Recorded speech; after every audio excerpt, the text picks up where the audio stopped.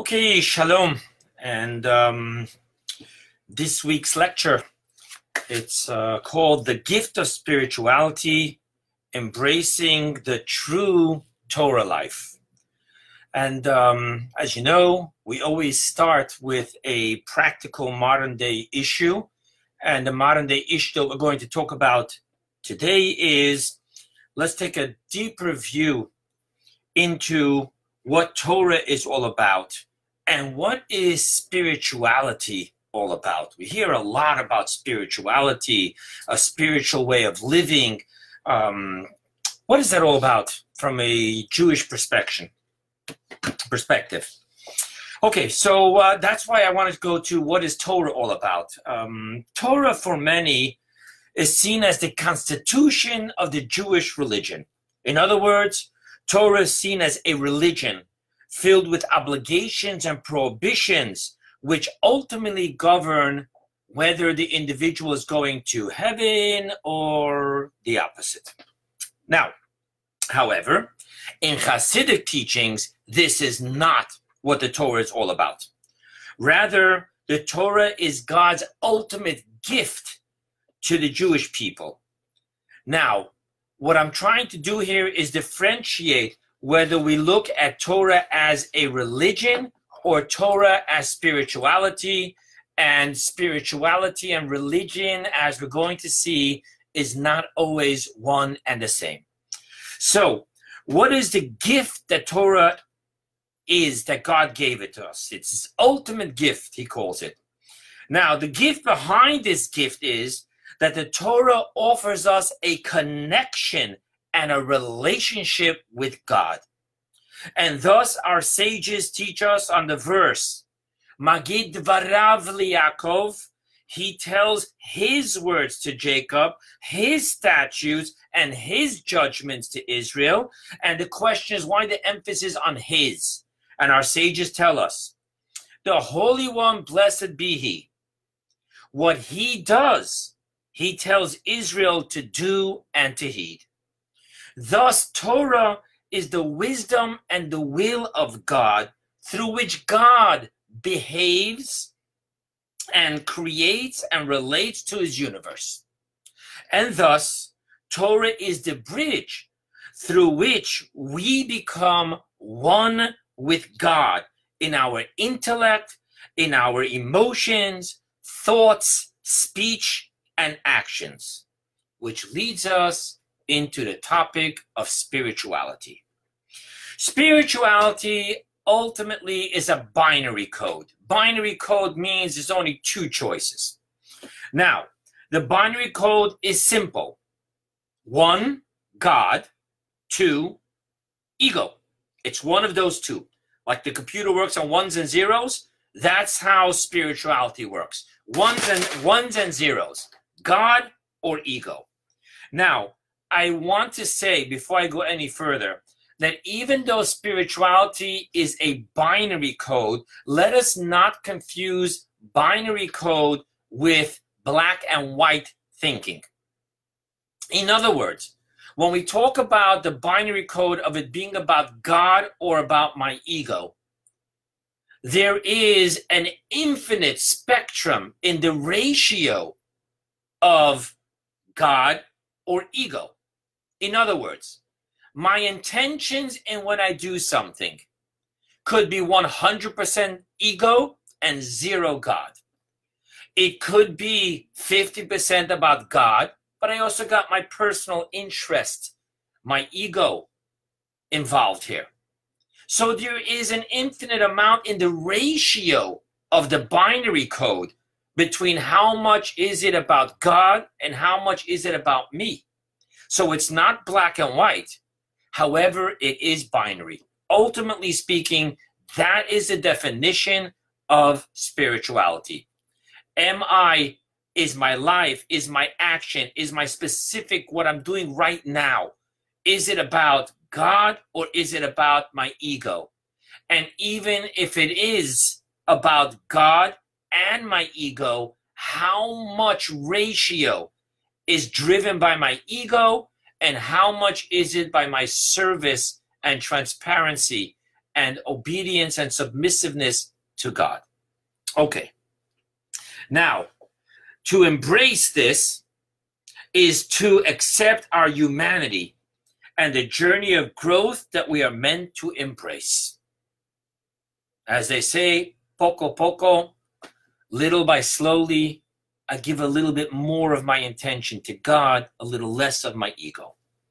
Now, this lecture is going to explore the spirituality of Torah in levels upon levels. And the modern day issue of this lecture will then answer how we embrace this on a practical level. Okay?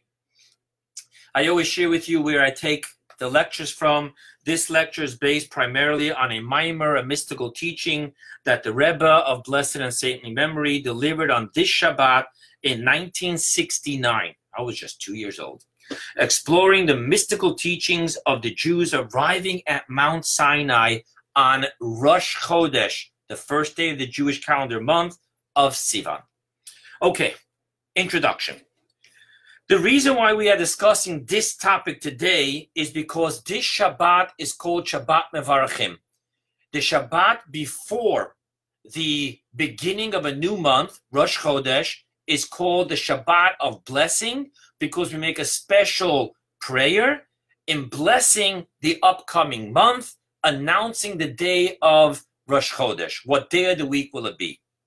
Not only that, but in this year, this Shabbat Bamidbar is actually Erev Rosh Chodesh. It's the eve before Rosh Chodesh. This Shabbat is the 29th of the Hebrew calendar month called Iyar, and the next day is the first day, Rosh Chodesh, the new moon of the month called Sivan. Now, as we will see, there is always a special connection between the Rosh Chodesh, new moon, and the Jewish people, as we are taught by our sages, that the Jewish people are likened and we count by the moon. And there's a beautiful teaching in the Medrash how Jacob is compared to the moon, and thus all his offspring is compared to the moon. And we count our calendar, our year, works on the lunar cycle, not on the solar cycle. Okay? Nevertheless, there is a unique and special connection between this Rosh Chodesh coming up, which is Rosh Chodesh Sivan, Rosh Chodesh of the third month. When I say third month, I mean from the month of Passover. It's not the third month from Rosh Hashanah, which was back in September time. Okay? Now, let's see what the special connection is with this Rosh Chodesh. So the verse begins the story of the Jewish people receiving the Torah from God with, and in the third month, month of Sivan, this month, of the children of Israel's departure from Egypt, on this day they arrived in the desert of Sinai, which literally means that this is the day from when we left Egypt on the 15th day of Nisan. We traveled the whole story with the splitting of the sea and everything, 49 days until we received the Torah. Now, 45 days is when, uh, 44 days is when we reach at Mount Sinai. Now, the sages say that on this day, the verse doesn't say which day. It says in the third month on this day. What day of the month was it? So it said the Talmud tells us that this day is Rosh Chodesh. We arrived at Mount Sinai on the new moon of the third month, Rosh Chodesh. And how did they understand this? So to understand this, I need to quickly share with you that the Torah is expounded through 13 principles and it's the introduction to the Sifra. We actually say it in our prayer every single day in the morning prayer. We say, and the house of Rabbi Yishmael, meaning the school of Rabbi Yishmael, taught us the 13 principles. They were handed down from Moses to Joshua to generation to generation. Now, principle number two is called Gzera Shava. Now, what does that mean? Let me read to you exactly what that means. What it means is that we estab- which is an analogy between two laws established on the basis of identical expression in the biblical text. You have here a word, you have there a word, this word is defined, this word is not defined. we connect the two and we carry the definition from this verse to that verse. Let's see how that works in our case. So I'm quoting to you the Talmud. Rava said, Rava, a great rabbi sage, everyone agrees that the Jews came to the Sinai desert on the new moon. Why? As it is written here, in the third month after the children of Israel were gone forth out of the land of Egypt, this day came, this day came they into the wilderness of Sinai. Okay, it doesn't elaborate which day it was. However, now jump to another verse, and it is written there, this month shall be to you the beginning of months. It shall be the first month of the year to you.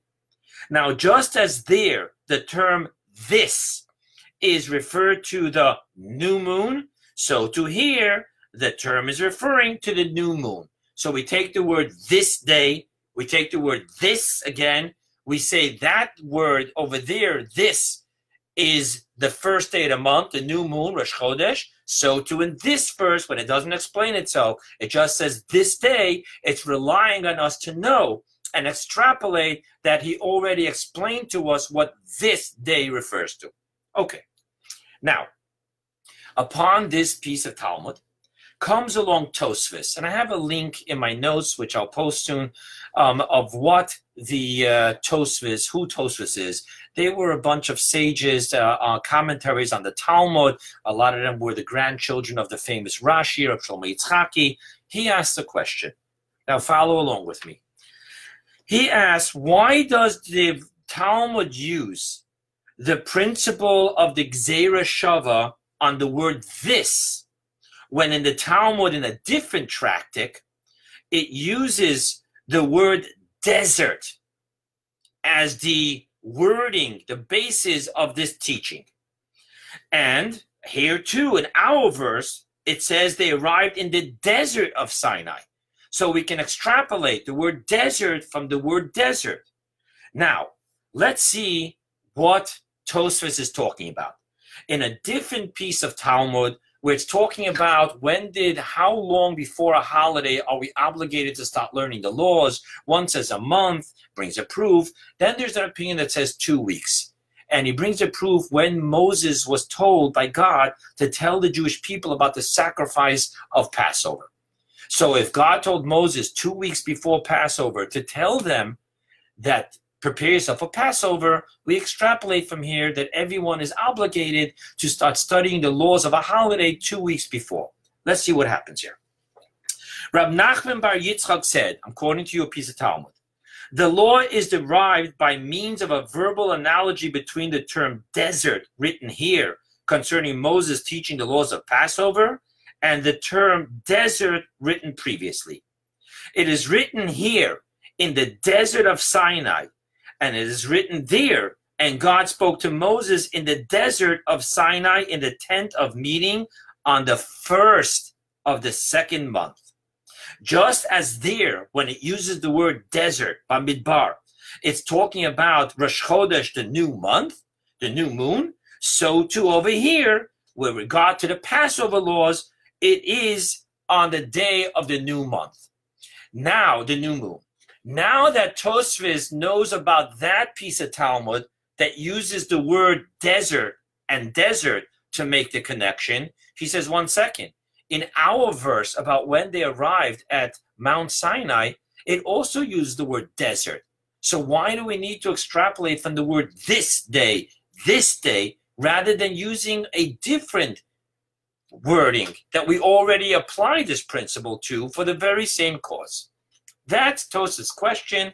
By the way, Tosfos answers just simply, the Talmud preferred using this one instead of that one, to use this day instead of desert. He doesn't explain himself.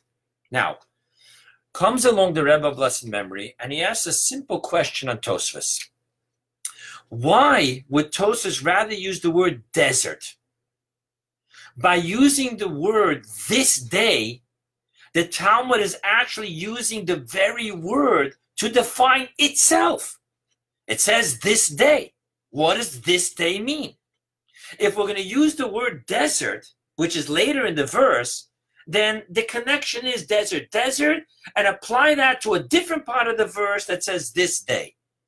Isn't it much better to use the actual word this day to define itself?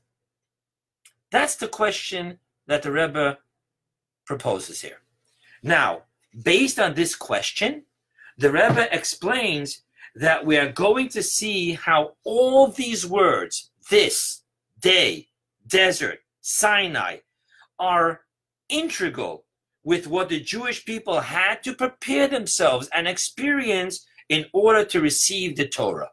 And this is where the Rebbe uses the Talmud, the Talmud and the, and the to jump into the mystical teachings of Kabbalah and Hasidus. And now, let's start the lecture. So, as you know, um, I always start the lecture with giving you a list of which mystical concepts we're going to talk about, and then I'll explain them one by one, and we'll wrap it up with the practicality of the modern day issue. Okay, so people, just that you know, we're going to get intricate the different levels of spirituality, which is defined as different levels of humility. Just bear with me. Everything will fall beautifully in its place. Okay? So here we go. Number one, completion of self. Number two, Rosh Chodesh humility. Number three, desert humility. Number four, Sinai self completion. Number five, we shall do and we shall hear. And then finally, the last uh, concept, this day, desert, Sinai. And let the amazement of Hasidus begin. Okay, so the children of Israel, we learn out of these verses on a mystical level that they had to go to through two preparations in order to receive the Torah. Now, what are those two preparations? So the first preparation we extrapolate from a midrashic teaching. It's uh, found in the Medrash Rabbah, the Medrash Tanchuma, and I quote to you. It says, if it is, it quotes God as saying, it isn't just that I should give my Torah to people with defects. Now, what is that Medrash talking about? They extrapolate from the words that the entire nation saw, and the entire nation heard, and the entire nation stood and they ask a question Is it possible within 600,000 people, just men from 20 to, to 60, and then there's the rest, the women and the kids and the seniors and the children, that there wasn't one blind, one deaf, one person who was lame and couldn't walk? Thus, we extrapolate that God healed everyone before he gave us the Torah. Now, upon this, the Medrash says, that why did God do that? Because God said it isn't just, it isn't proper that I should give my Torah to people that have defects, simply meaning physical defects. Now, in Hasidus and in Kabbalah, we apply that to spiritual defects. Thus, we are taught that from when the Jews left Egypt, knowing that God told Moses, because Moses told them, at the, that God told Moses at the burning bush that I am taking them out of the Egypt in, in order to bring them to this mountain so that they will serve me. Meaning that God took us out of Egypt in order that we should receive the Torah at Mount Sinai. Thus, in prep- they were preparing themselves in the counting of the Omer. Now, counting of the Omer doesn't apply because the, the whole laws of the wheat and the new crop doesn't apply. Thus, they tell us that the spiritual definition of counting the Omer. What is the spiritual definition of counting the Omer? And what it is is that we count 49 days. Because according to Kabbalah and Hasidut, the soul, each person, is made up of seven emotions. And each one of these seven emotions has within them seven characteristics. Thus, what we hear here is that from when they left Egypt, knowing that they were going to receive the Torah from God at Mount Sinai, they started counting in the sense of self perfection, to go ahead and fix self, self refinement. And thus, one of the preparations that the Jewish people had to go through in order to receive the Torah from God is self completion through the work of self refinement, attribute by attribute, emotion by emotion. That is one thing. That's why, on this level, another Kabbalistic twist here, that is why on Rosh Chodesh Sivan, they reached Mount Sinai. Because if you count it all, Rosh Chodesh Sivan was the 45th day of the self rectification. That means that they already completely rectified six of their emotions and the first three, which are the primary characteristics of the seven emotion. Thus, they arrived at Mount Sinai for Rosh Chodesh, on Rosh Chodesh Sivan, prepared in self-completion to receive God's Torah. Now let's talk about the second preparation. And the title is Rosh Chodesh Humility. Now, the second prerequisite preparation that the Jewish people needed to have is based on the opening verse of the delivery of the Ten Commandments. Let's see what that is.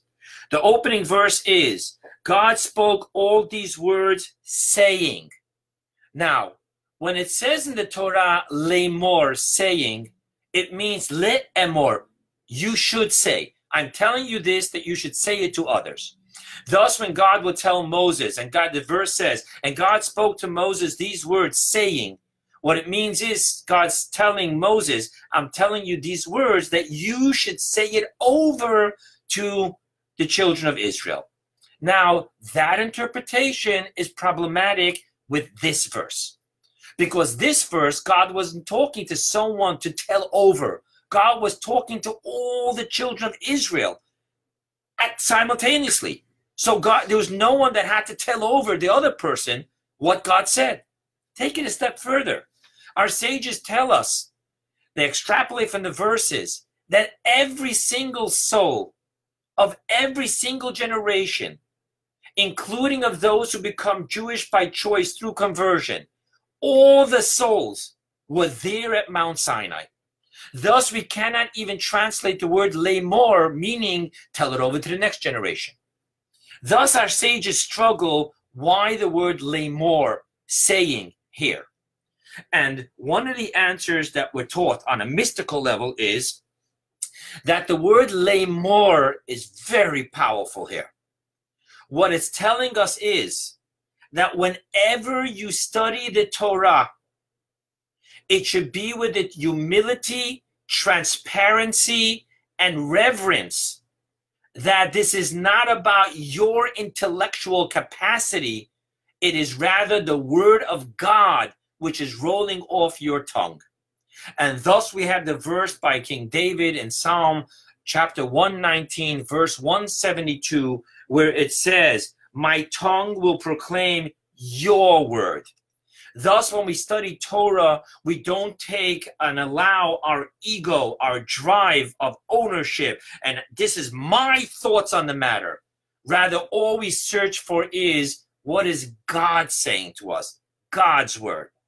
Thus, when God said these words, and he said, God spoke all these words, saying, God empowered us to connect with that level of humility and transparency that when we study Torah, it should be about God's words coming out of me and not my words, my thoughts. So the second preparation is that of humility. We have self completion and we have humility to the point of self negation of ego. Now, let's take this one step further. According to Kabbalah and Chassidut, this is why the Torah was given on the 50th day. Remember, I shared with you they counted 49 days. On the 50th day, God gave us the Torah. Why?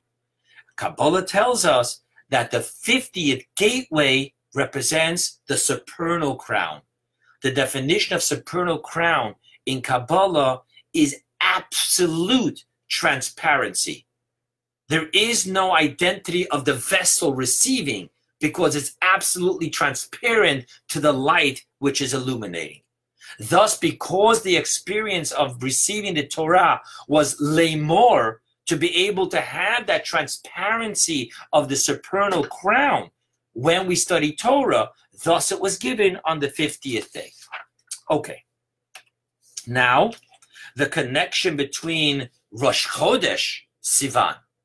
Okay, so if it's all about humility, transparency, why on Rosh Chodesh?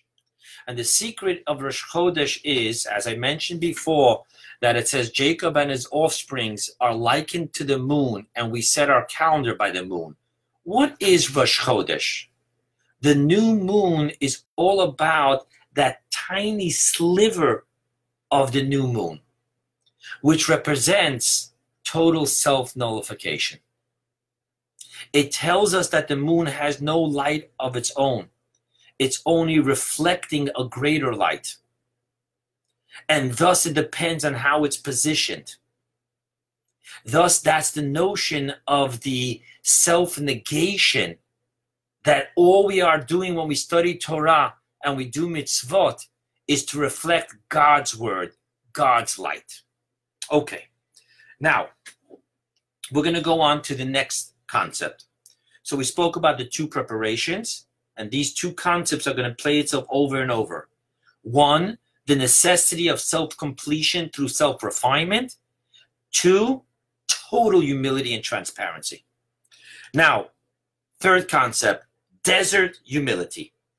Now, the Hebrew word for desert is midbar. Now, the word midbar can be mystically, it is mystically defined. There's different mystical interpretations. This one is break it into two words mem, the letter mem, daber. Now, daber means to speak. Now, in Hebrew, the prefix mem is that time it's one of the couple of prefixes which is used to show that we're talking about the root word that we're talking about in its littleness stage. Thus, me daber is talking about a littleness of daber. And what that mystically means is that when we speak the words of Torah, it has to be with me, littleness, self negation, self transparency. It shouldn't be about the strongness of I think and I and, and I my I get this. Rather, God, please allow me to understand your wisdom. Allow your words to roll forth from my mouth. So that notion of midbar is also as explained by Jeremiah now, Jeremiah, when he uses a verse talking about the, the midbar, the desert which God took us out of Egypt into, he says, Eretz lo a land not sown. What that means on a mystical level is sown means the human effort, my will, my intellect. The desert represents a barrenness of the human's involvement and thus it remains nothing more than the recipient of God's word with an obedience driven by a transparency rather than the self will and the self intellect. So, according to this, let's put the two together now. The word desert represents humility, which is the second preparation for receiving the Torah. Let's go now to the next concept Sinai self completion. The verse says, and on this day of the third month, they reached the desert of Sinai. What does the word Sinai mean? And what is it telling us in this theme? So, for this, I'm going to take you to a piece of Talmud. The Talmud says, what, what is the reason it is called Mount Sinai? and there's different opinions and this is no it can't be that because it should have been that and that. And then they come to this conclusion. It is because it is a mountain upon which hatred sinai is very close to the hebrew word sinah. Sinah means hatred. So listen to what the talmud says it is because it is a mountain upon which hatred for the nations of the world descended because they did not accept the torah now, on a mystical level, Chassidus always gives us the beautiful insight here. And it says as follows What is the nations of the world? Hatred came down, descended upon the nations of the world for not receiving the Torah, accepting the Torah. So Chassidus says deeper. Nations of the world, it's all within the microscopic world. What it means is within me, I have a Yetzer Hara, I have an evil inclination that doesn't want to accept the Torah. It doesn't want to subjugate itself to God's will. It wants to live in its will, its identity. And thus, the Talmud is teaching us, according to Kabbalah, according to Hasidut, that why is it called Sinai? Because they're descended from above a hatred towards the other side, the evil inclination within me. Now, what does that mean, a hatred? When I accepted the Torah, there descended a hatred to my animalistic side, my evil inclination. And to understand that, we're going to talk about a teaching in the Talmud of Sanhedrin, and it says this beautifully. It says, Rabbi Hanan said, Why is the Torah called Toshia? Now, there's different definitions of the word Toshia that the Talmud wants to extrapolate there. But it brings a verse in which the Torah is called in Hebrew Toshia. And his opinion is because it weakens. The word Toshia, he connects to the word Mateshet. It weakens the strength of a person who engages in its study. Why would that be? Torah is the book of life. Why would we say that it weakens the strength of the person studying the Torah? Mighty giants studied Torah. King David, King Solomon, these were warriors. Moses was a warrior. What does it say? It's weakened. So the mystical meaning is not that it weakens our body, it weakens our arrogance, our ego, our other side, our concept of evil inclination.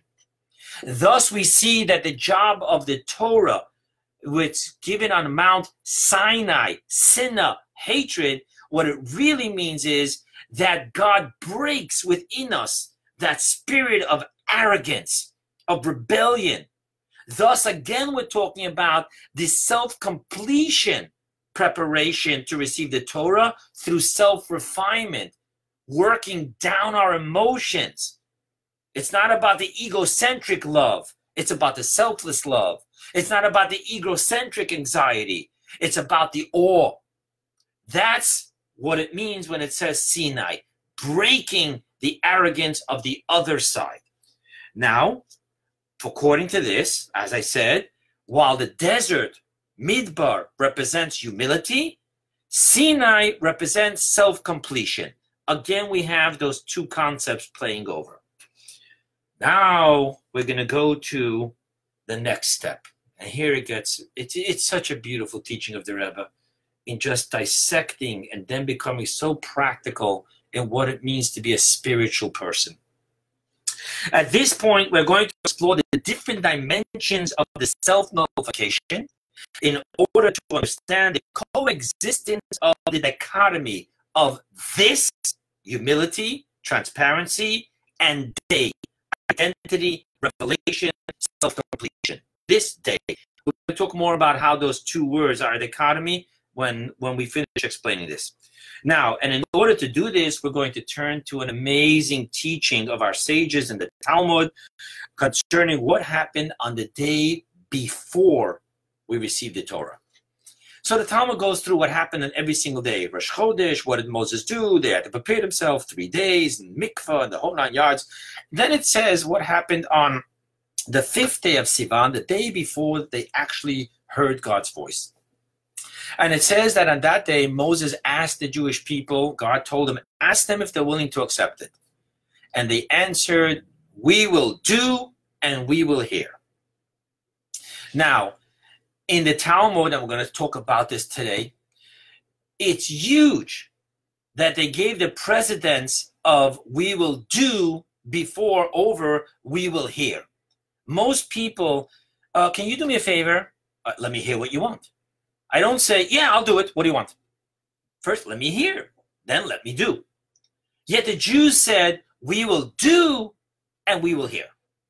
So the Talmud tells us, I'm quoting to you the Talmud now. It says, Rabbi Simlai taught, when Israel accorded precedence to the declaration we will do over the declaration we will hear, 600,000 ministering angels came and tied two crowns to each and and why whoa sorry here sorry about that every member of the jewish people one corresponding to we will do and one corresponding to we will hear Sounds like a beautiful piece of Talmud. However, the Talmud is self conflicting. First, the Talmud says that the reason for the crown was specifically because of the Jewish people giving precedence to the we will do before the we will hear. Then it talks about no, the two crowns are one for we will do and one for we will hear. Nothing what to do with the precedence. So the beginning of the statement and the closing of the statement seems to be in conflict with each other. Is it only because of giving precedence? That fact maybe should only be one crown. Or no, it's not about the crown. It's just a mere answer. We will do one. We will stay here another two crowns. And therefore, what we're going to understand from this is that the reason why there's two crowns, let me say this in other words, the reason why we will hear earned a crown is only because it was precedented by we will do. And the reason why we will do earn the crown is only because it was followed by we will hear. And now let's understand this. Now, the, diff- the difference between the declaration of we will do and of we will hear is the difference between, and I'm going to quote you a saying from the Talmud, and we're soon going to see it. There's the acceptance of the yoke of the kingdom in heaven, which means I have to accept the yoke of God. God is my king. And then we will hear is the acceptance of the yoke of the mitzvot, God's commandments. So there's two different acceptances here. There's accepting God as my king, and then there's accepting God's commandments. Let's see what the Talmud says about this. So the Talmud is in the tractate that talks about the mitzvah of saying Shema. Hear, O Israel, God is our God, God, God is one. We're supposed to say it every morning and every evening, and it's made up of two primary portions. There's a third portion, but we're going to talk about the two primary portions. Now let's see what it says. Rabbi Yeshua ben Karcha said, name of a sage, why in the mitzvah of reciting the Shema did the portion of Shema precede that of Vahaya im Shemoah? So the name of the first portion is Shema. This name of the second portion is Vahaya im Shemoah. And he answers, this is so that one will first accept upon himself the yoke of kingdom of heaven, which appears in the portion of Shema.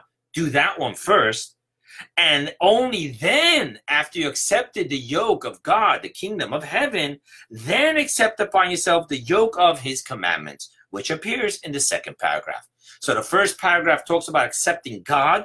The second paragraph talks about accepting God's commandments. First, accept God and then accept his commandments. Okay. Now, that's the Talmud through understanding the mystical depths of these two portions and the precedence over the first por- uh, in the first portion over the second portion we will have keen insight to the we will do we will hear and the precedence of we will do over we will hear. Let's handle this. The two portions of shema and vahaya and shemoah in kabbalah are known as the two ver- services of ebb and flow let's talk about what this means. What does it mean to ebb and to flow? Ebb is from below to above. I'm ebbing upwards to God. Flow is I am engaging in the physical world. Now, how does this work? So, the portion of Shema, the acceptance of the yoke of the kingdom of heaven, in heaven, we are experiencing the ebb.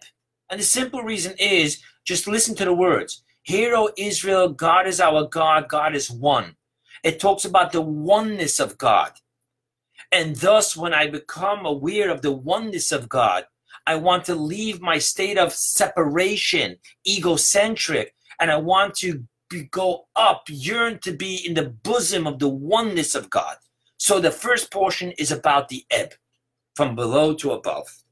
Now, the second Torah portion, which talks about the physical commandments that God is commanding us to do, that is talking about the flow.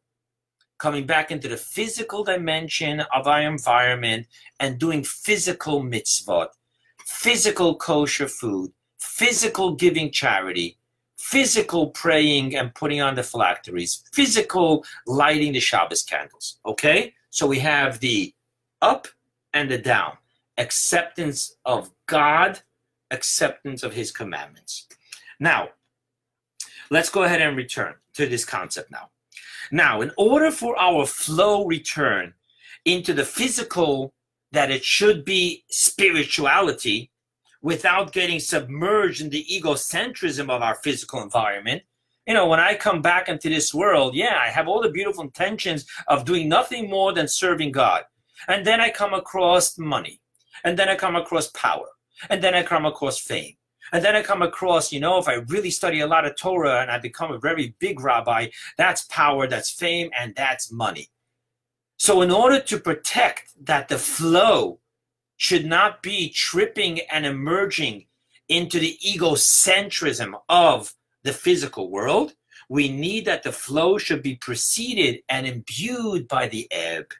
In other words, if the self completion preparation, the we shall hear, is not preceded by the humility and self negation preparation of the we shall do, then the self compilation isn't spiritual and isn't deserving of a crown.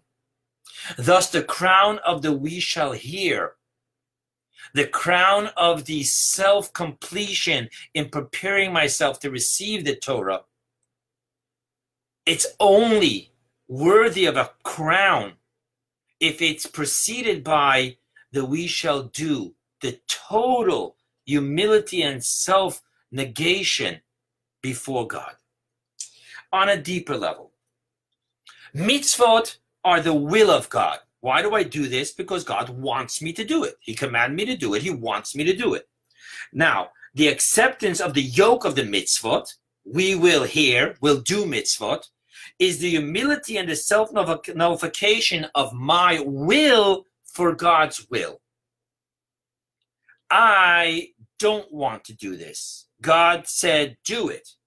So I will negate my will for God's will. So it's a relationship between my will and God's will. While the acceptance of the yoke of the kingdom of heaven we will do. What does it mean when I say I accept you, God, as my God?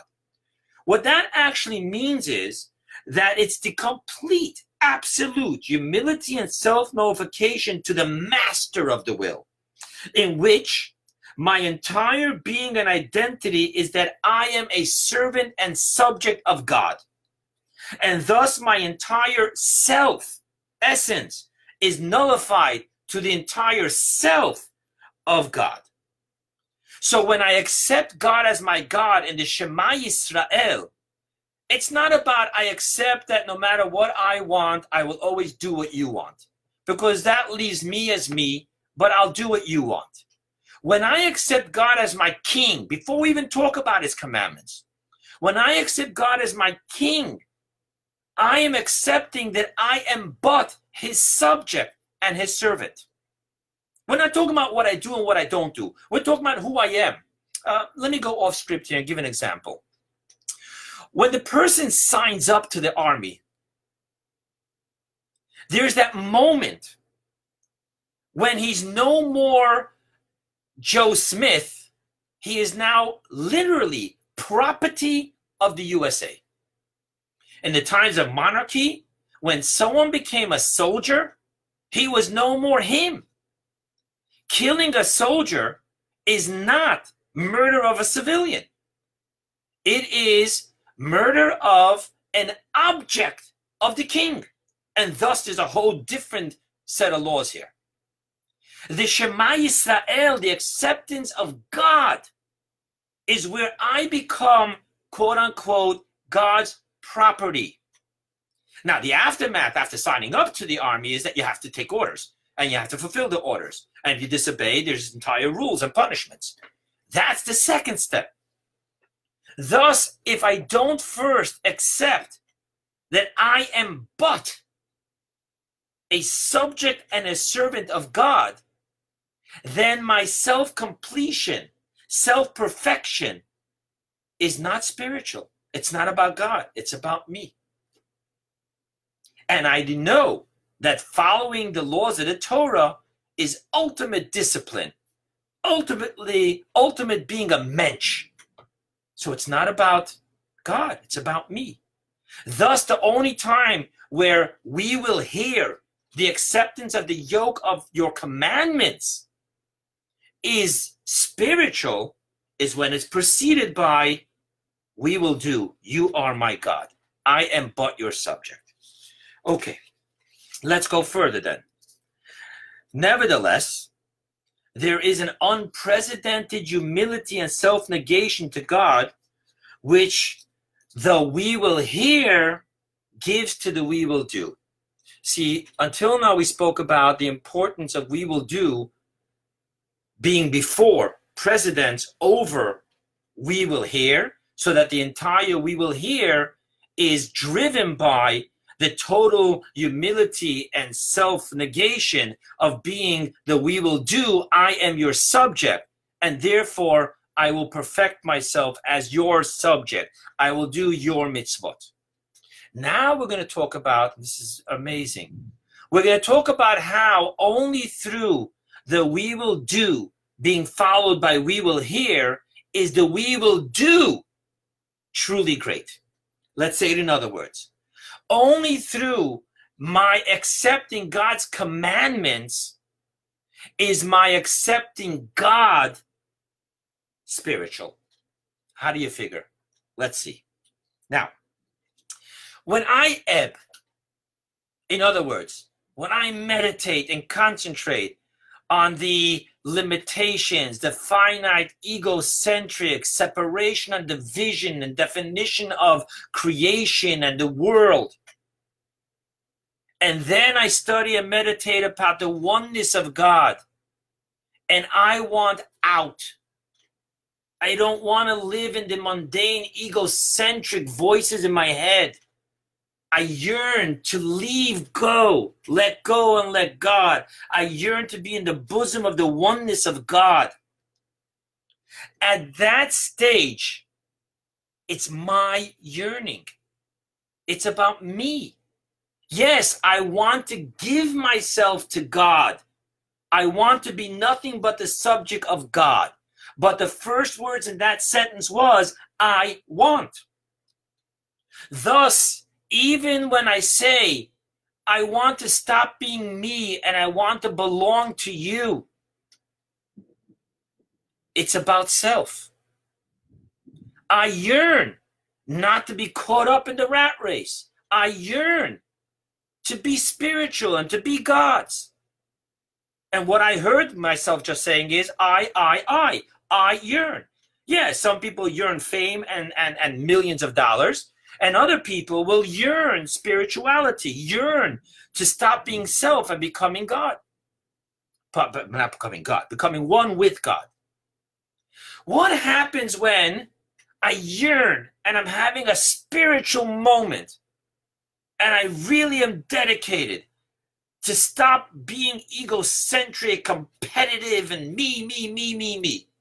And I want nothing more but to be in the bosom of God. And then God tells me, Oh, you want to be with me? Well, I want you, if you want to be with me, what I want is for you to help your neighbor. What I want is for you to carry my name and my benevolence and my compassion and my justice. I don't want you up here with me. I want you down dear.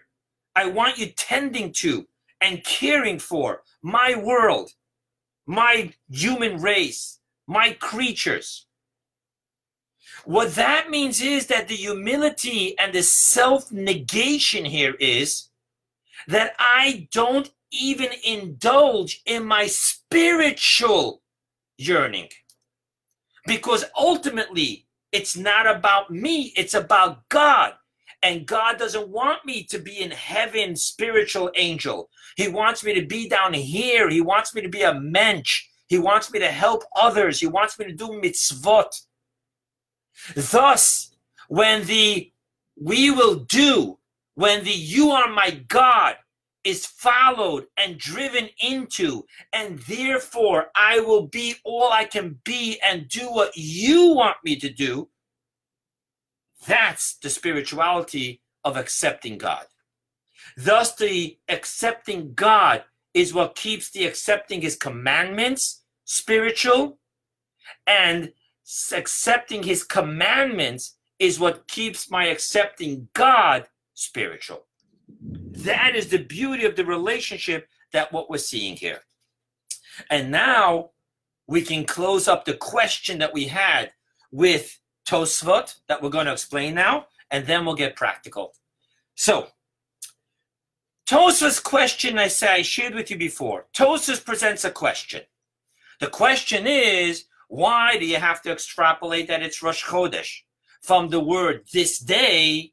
If in a different piece of Talmud, we extrapolated that this day means Rosh Chodesh from the word desert, desert, desert. Now we understand what Tosfos is thinking. Tosfos is saying we should embrace the absolute humility of the desert. Remember what I said about desert? The land that's not sown. There is no I want. There is no I understand. There is no I think. Rather, it's all about let the words of God roll off my tongue. Let me want nothing more than to open up and embrace the word of God.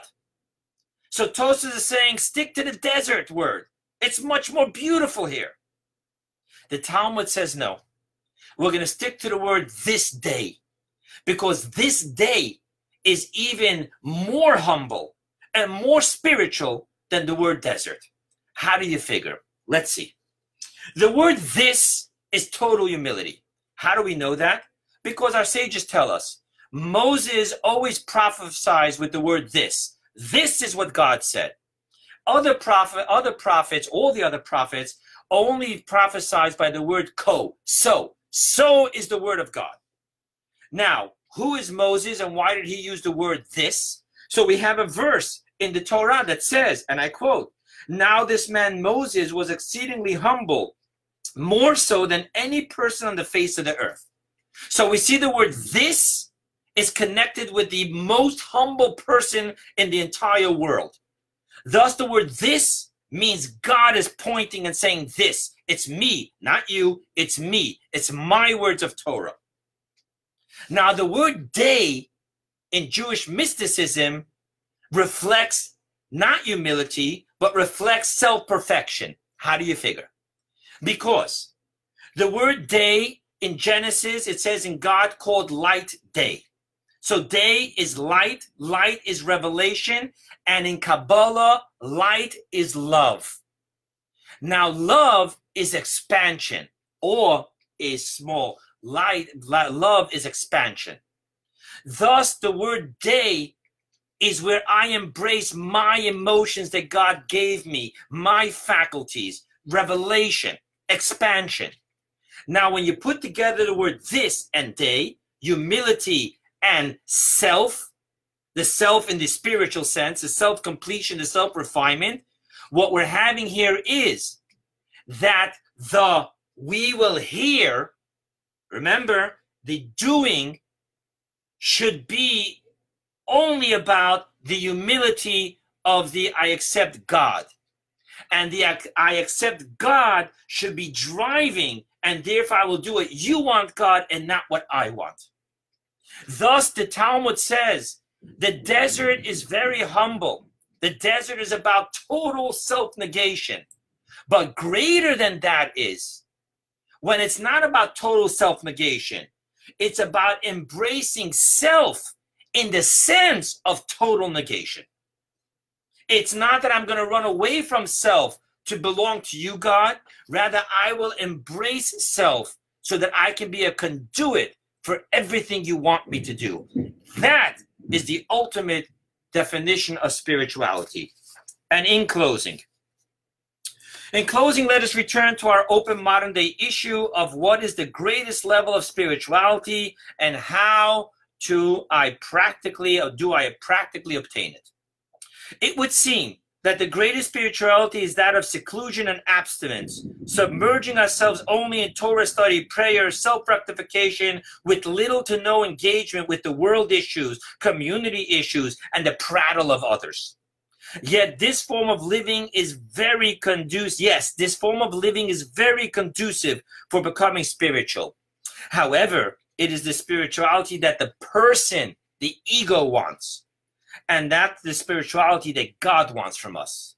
God wants us to care and to tend to his world, his creatures, and his human race. God wants us to care about community and about the needs of others. And being that spirituality is a binary code, where it's either about God or about ego, thus even spirituality can be everything but spirituality because it's the spirituality that I want. And thus we're being told no. Spirituality is about God, what God wants, and God wants you to engage. Yes, it means I'm going to not be able to be so spiritual and then, no. I have to let go of that and make it about what God wants me to do. And God wants me to engage. Thus, we need to put aside our own ebb and yearning to be alone with God and instead be humble enough to embrace the flow in creating a peaceful, blessed, and holy abode for God here on earth. Thank you, my dear friends.